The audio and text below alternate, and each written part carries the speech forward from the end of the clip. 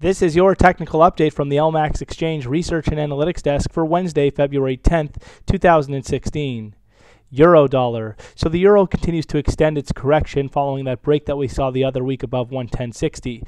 I talked about the possibility for a measured move upside extension towards 114.10, and that's what we're seeing play out over the past several sessions. The market is now closing in on that 114.10 measured move objective. Why 114.10? Well, if you look at that previous consolidation that we'd seen for several days between 110.60 and 107.10, that was a 350 point consolidation. So that projected to the upside, 350 points, takes us up to 114.10, which also coincides with some longer term resistance uh, going back to uh, previous months in 2015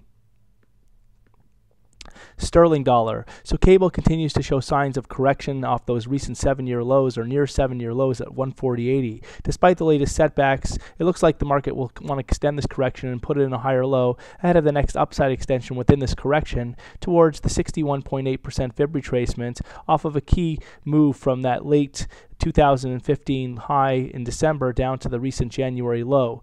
At this point, only back above 150 would really take the immediate pressure off the downside, but at the same time, there is risk for this upside to continue towards that 61.8% fib retracement, which comes in around 148 dollar yen. So dollar yen right now, it's all about the monthly chart given the latest breakdown below multi-month lows and the fact that this market could still extend declines over the coming weeks back towards, and as hard as it may sound, that 105.45 level, which was a previous resistance point going back to, to December of 2013 and looking also at January of 2014. Of course, it is possible given the broader uptrend that the market will soon find some form of a higher low ahead of that level, but again, following this latest breakdown and the way that it looks like it's rounding out on the monthly chart, the possibility for deeper decline should not be ruled out in dollar yen. Euro Swiss. So Euro Swiss has seen some sharp pullbacks in recent trade after topping out by fresh multi-month highs at 112. But given the broader uptrend here and the constructive outlook, the market should find some form of a higher low now ahead of the 109 area, ideally in favor of the next upside extension back above 112 and towards the 114 area further up. There is some previous resistance turn support now in the 109.40 area, so it'll be interesting to see how the market reacts to that level on Wednesday. Aussie dollar. So with Aussie, the market has mostly been chopping around, but is confined to a broader downtrend. So any rallies within Aussie dollar should be very well capped in favor of an eventual downside extension back below those recent lows that we saw at 68.27, which which are the lowest levels seen since March 2009. At this point, look for any rallies to be well capped ahead of 72.65, which is a key 78.6 fib retracement, while only back above 73.85 would compromise the bearish outlook for Aussie dollar dollar CAD. So although we've seen some sharp setbacks in dollar CAD over the past several days, and although the market has shown maybe some signs of stabilization, don't rule out, the possibility for deeper setbacks still towards the 135 area, which coincides with some strong, formidable rising trendline support. Of course, this doesn't do anything to negate the fact that the stronger uptrend remains intact. It's just a question of whether we test that trend line and then look to put in that next ideal higher low ahead of a bullish resumption back towards those near 13 highs, near near 13 year highs that were seen back on the 20th of January at 146.90.